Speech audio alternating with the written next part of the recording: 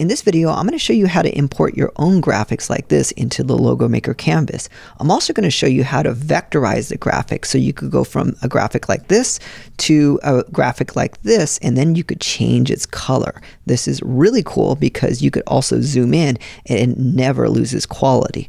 This is an amazing technology Logomakr has. I'm also going to show you how you could integrate your graphic into a design or logo like this, giving you unlimited possibilities and making your design unique and custom. After clicking on this icon, it's going to open up a pop-up that looks like this. This is going to allow you to upload a PNG, JPEG, or SVG image. I'm going to go ahead and just click on this area right now to upload an image. Then I'm going to go ahead and choose the drawing or image I want to upload.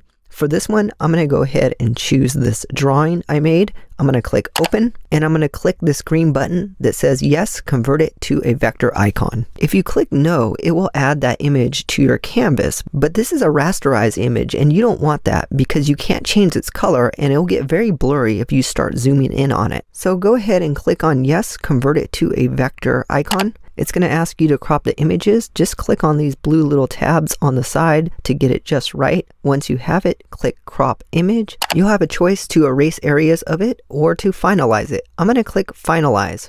It's going to give you four vector profiles. These are different color profiles. The best one is this one. I highly recommend it because it's an icon profile and it's going to make it look really, really nice by taking out the background elements and then you could change its color really nicely. Also, notice you could zoom in really, really nicely to this and it will never lose quality, unlike your original picture. If I zoom in on this, you'll see it's really pixelated. So this is really, really cool that you could zoom in just like that.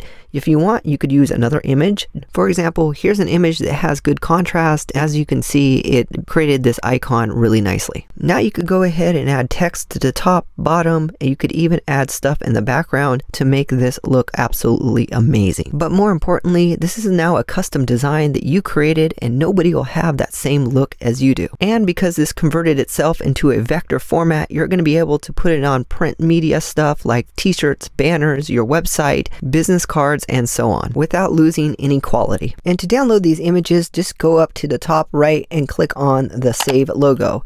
You could see all the types of images you could print it on. You could download the low resolution for free or get the high resolution, which is highly recommended so you could put this on your t-shirts, banners, websites, and so on. There's endless possibilities on how you could use this tool, so get creative and have fun.